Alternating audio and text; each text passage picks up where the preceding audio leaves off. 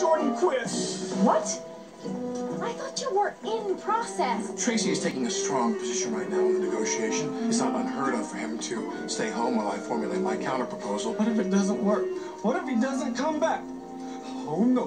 When I get upset, my accent come out. And when it gets to coming out, I can't get to talking up.